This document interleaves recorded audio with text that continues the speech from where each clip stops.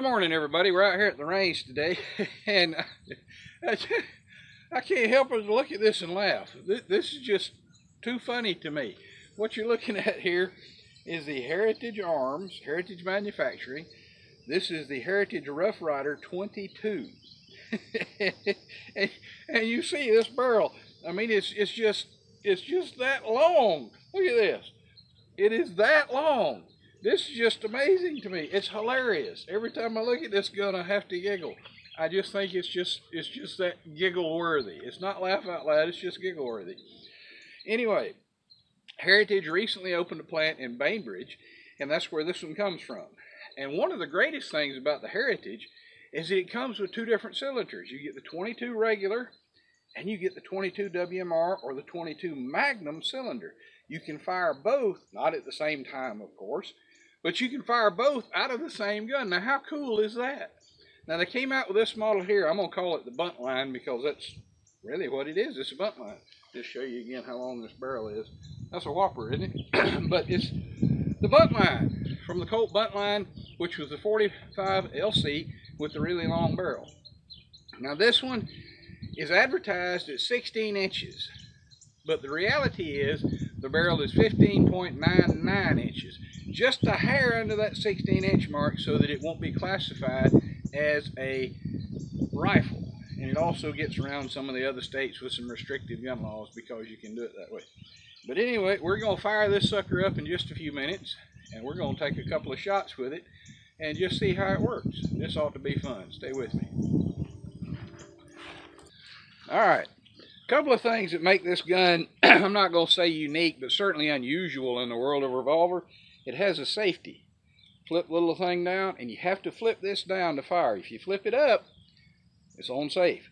There's a transfer bar in there that comes down that will prevent, or goes up that will prevent the gun from firing. So, fix and take a couple of shots, six. We've got some 22 shorts, hollow point lined up in here, got six of them. We're going to put this thing down range and see what she'll do with 22 shorts.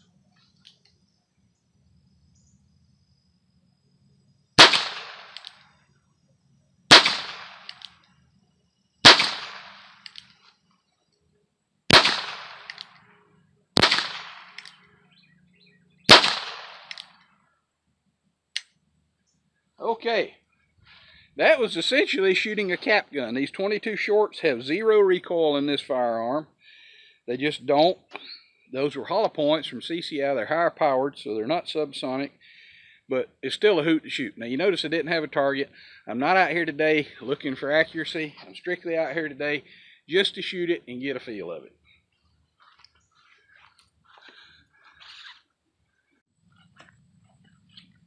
This is a six shot revolver. I've got 22 long rifle loaded in it. You're going to probably notice a good bit of difference in the sound, and I'm wondering if there's going to be any recoil at all. This is, as you would note, because of the barrel length here, a whole lot heavier than a standard Heritage revolver, which comes out to about right here. I mean, you got another 10, 10 or 12 inches, or depending on your model, 8, 9, 10, 11, 12 inches of steel sticking out on the end of the thing and it weighs it down on the end, keeps it keeps it the barrel from jumping so much, if it would anyway, and it adds weight to the gun. All that does affect the recoil. Let's take a couple of shots. This is a single action revolver. Got to cock the hammer for each shot. And just to show you, on safety, will not fire. Flip the little switch down. We're hot.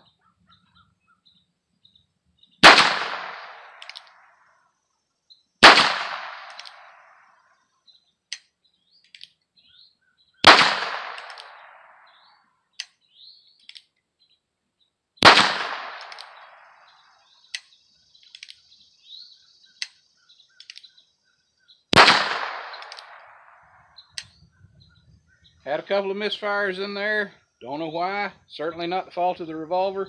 I did pick up a box of old ammunition, and that could be the problem. Anyway, you notice there was a good bit more sound to that one than in the 22 shorts. And if you're sensitive enough, you could actually feel recoil on that one. And the one thing I do want to show you, let's see if the camera can pick it up. And you flip the safety. All right, safety. Now, I'm going to flip it and see if you can see. the hammer. See the hammer moved about a centimeter? That means it's engaged. Show you on this side. Hammer's gonna move. On safe, ready to fire. On safe, ready to fire. All right. One question people generally want to know about this revolver is if I got the 22 mag cylinder in it, can I shoot 22 long rifle longs and shorts? Yes, you can. Now, it's been my experience in shooting this type revolver, because I've got another one with both cylinders, that the accuracy really drops when you're shooting the 22 long rifle or short or 22 long out of the Magnum cylinder. There is a case difference between the two. I'll have a link in the article explaining that. But yeah, you can shoot both, but it's just not going to be as accurate. So now we're loaded up. We got us some 22 mags in here, and I'm going to see what she does. I'm expecting a lot more recoil noise. I'm expecting more blowback out of the cylinder. I felt a little bit in the 22 long rifle, felt nothing out of the 22 shorts. I'm expecting more, and I'm also expecting to actually have some, not appreciable, but you're going to know you've been shooting a pistol with these 22 mags. Here we go.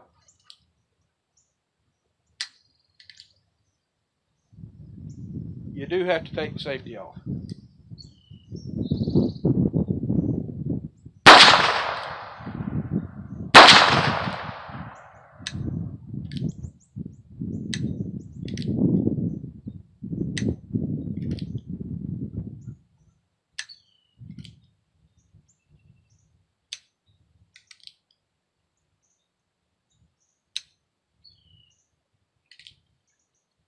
Folks, I don't know.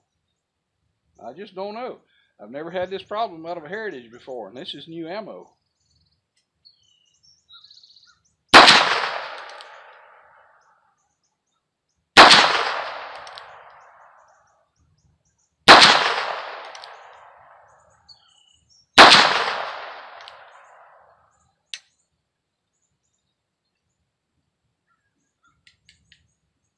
This being a single action, it does have the load slot. I'm checking now to see if I got a primer strike on all of them. I do. Looks like a good primer strike. It's hitting right there on the edge. That one's a little bit light. Let's see what we got. Oh, got an empty one. All right, anyway. That's the Heritage Arms 22. I just, I can't get over the barrel on this. Anyway, the Heritage Arms 22 with the Magnum cylinder. Y'all be safe.